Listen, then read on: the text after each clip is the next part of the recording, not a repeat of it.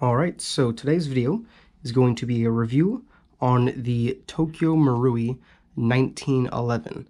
Uh, specifically, I have the uh, the MEU from them.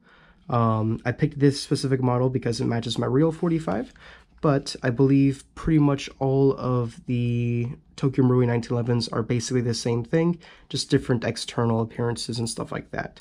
Um, so basically, Tokyo Marui, I, I, I specifically have chosen not to really upgrade this. There's a couple changes I made, um, but they are kind of necessary. So um, I'll, I'll just go over the changes real quick right now. So basically, I changed out the grip uh, to match my real grip, basically, the different color, obviously. But um, the grip that comes on the MEU is like a gross rubbery wraparound thing that had to go for sure. So I have a a G10 um, grip on here from VZ Grips. And then I also changed out the front sight to a fiber optic front sight. Um, again, that is to match my real one. Um, but basically, uh, the sight that comes stock on the MEU is just a black front sight, which is impossible to see um, in a like a like a darkly lit CQB environment. So I had to go with the fiber optic just so I could actually see what I'm shooting at.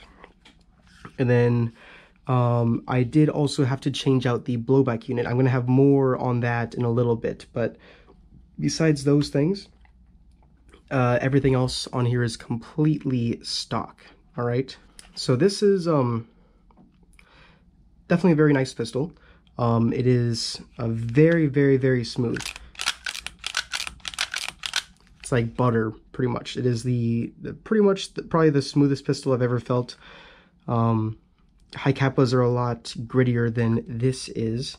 Um, not sure exactly why, but um, there is definitely a big difference between this and a Hi-Capa as far as how smooth the operation is. Now, um, on Tokyo Marui 1911s, the slide is plastic and also the, the frame is plastic. There is an internal metal frame. Um, the internal metal frame is just your typical Tokyo Marui pot metal, basically. But um, all of your hardware and controls are going to be metal on this. So like your slide stop, magazine release, uh, safeties, hammer, um, all your um, your your bushing and all that stuff is going to be all metal. But um, the slide, the frame, and the the outer barrel are going to be plastic.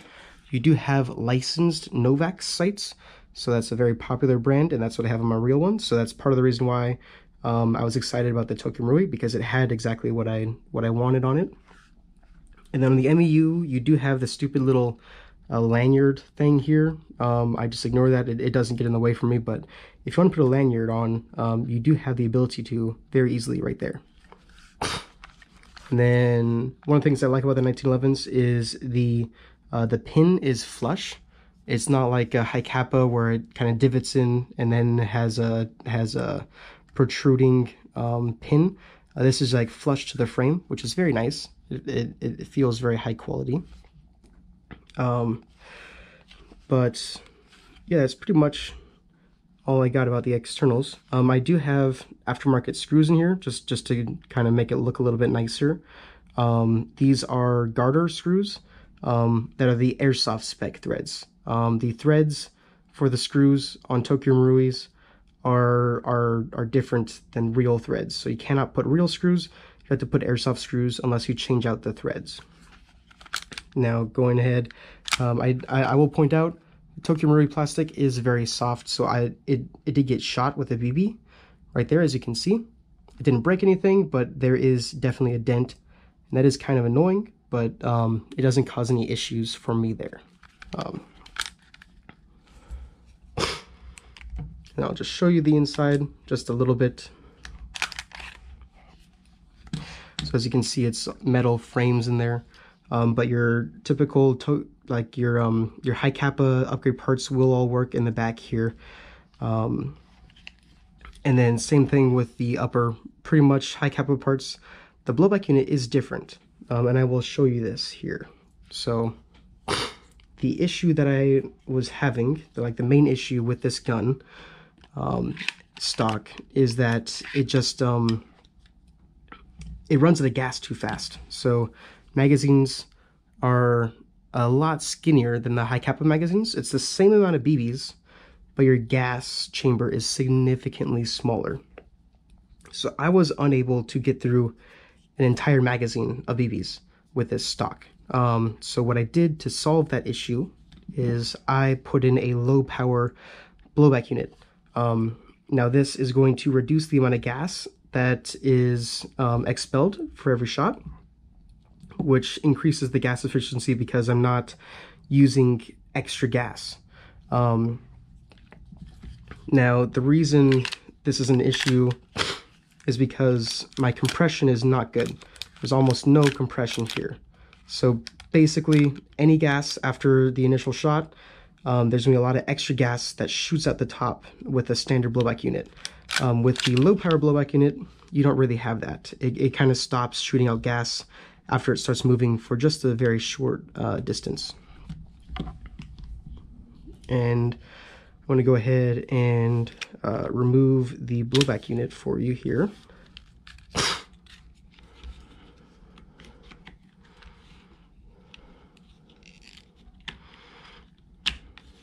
Can remember how to do this.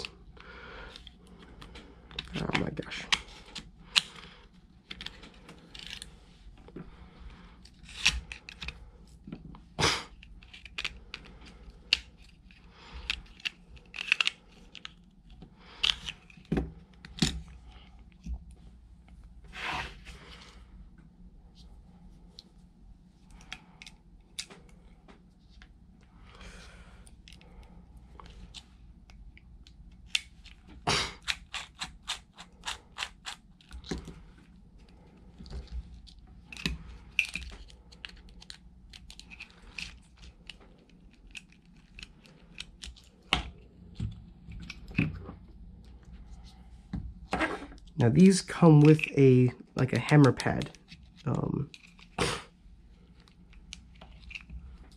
that for some reason I can't remove. I don't know what I'm doing wrong. There it goes.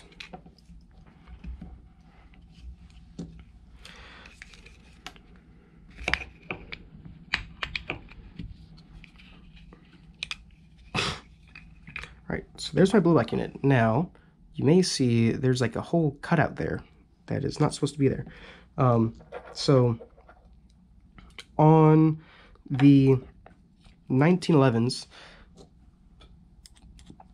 there's an extra cut in the blowback unit. Uh, the blowback unit's the same except for this extra cutout. That extra cutout is because the rear sight has this little notch here.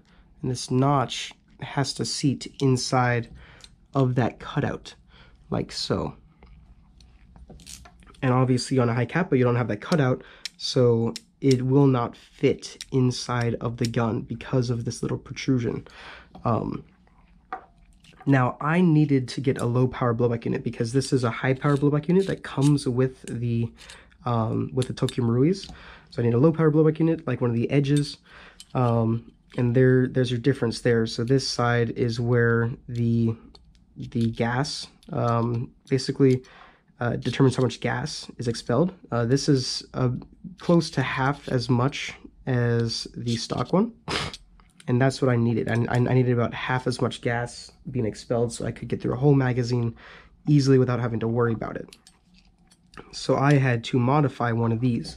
So I just took a Dremel, basically marked out um, the distance and the location, and I just Dremeled off until I got it to fit. And it fits perfectly. I don't know where my thing went. There it goes. It fits perfectly. I have extra space at the front, but that's not a big deal as long as it fits down and there's not too much extra space. The, the issue you have is the spring. You don't want the spring to be able to get caught anywhere inside of there. Um, but just this low power um, has done wonders. Uh, this is definitely a necessary upgrade.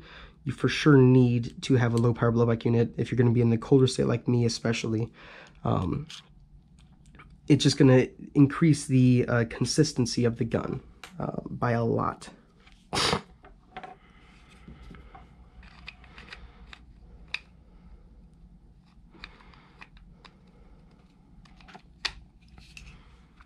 Let me go ahead and put this back together here.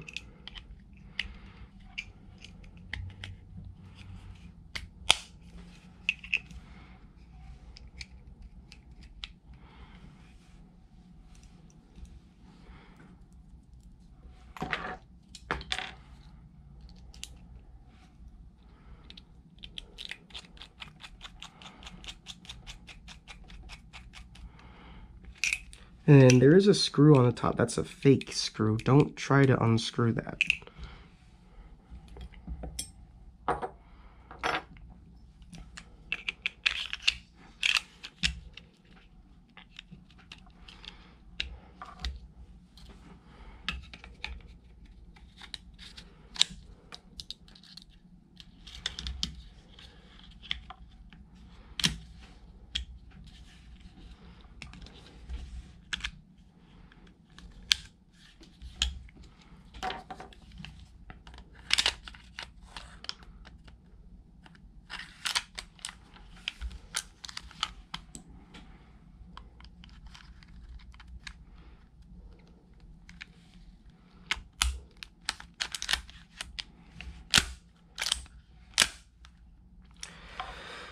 And the magazines gonna be like your Wilson Combat Style magazines. So you have the extended base pad on here, um, which was important for me because these are the magazines that I use for my real one.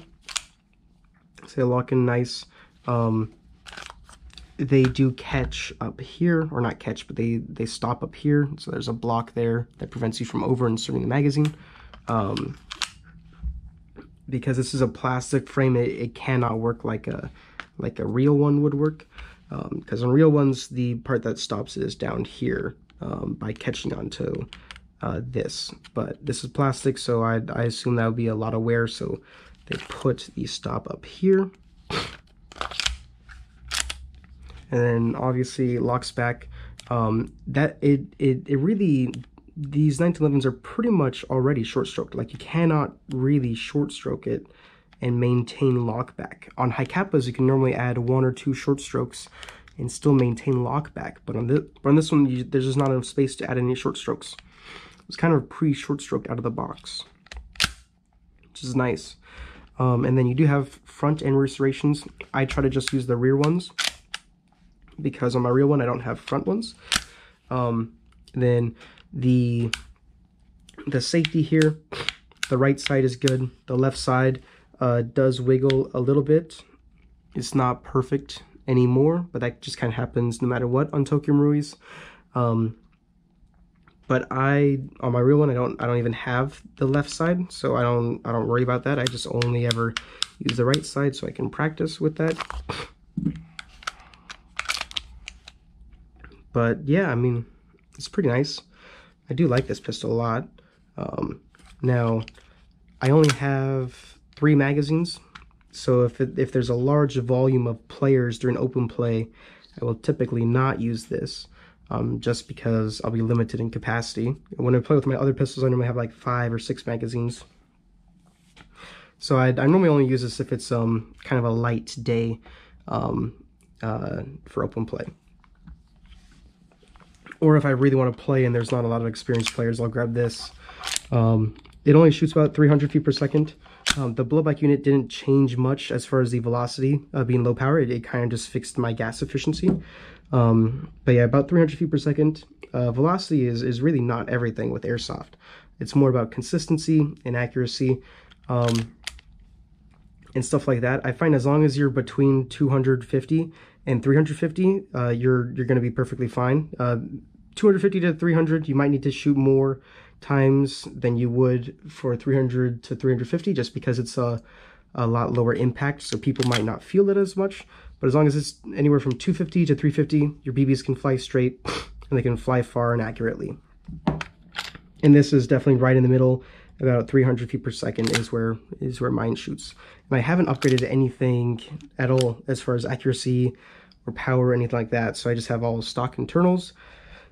Um, and it's uh, it's pretty great.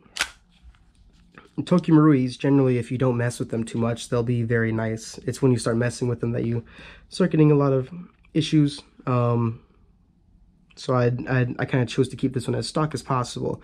I had to change out the blowback unit just because I, I wasn't even getting through whole magazines um, with this stock high power blowback unit that comes with these. And the stock one is, is, is pot metal, so it's a lot heavier than aluminum is anyways.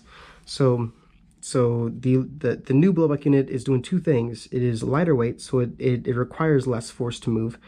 And it's also expelling less gas. So it's like two different factors are increasing the efficiency just by changing out the blowback unit.